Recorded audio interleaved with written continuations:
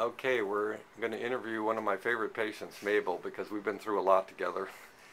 Starting 10 years ago, Mabel was minus 11 in one eye and minus 12 in the other eye. And back then, we weren't doing that much. LASIK, her cornea was a little bit thin.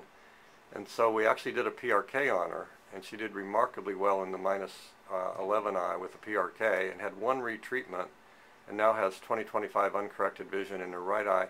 And in the left eye, she went to minus 16, and we did a Staar ICL phakic implant in August.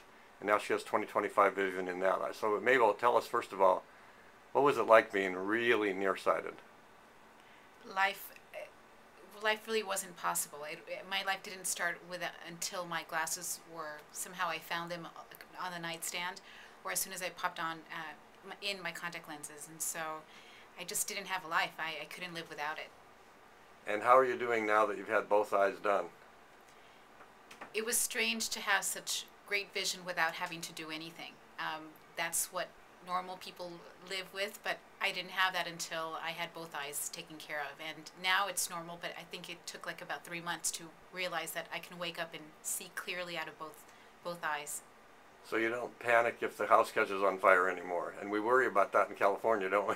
Absolutely. No, I can actually help my family get out of the house safely now. Great. Okay, thanks for the interview. You'll see yourself on YouTube maybe tomorrow. Thanks.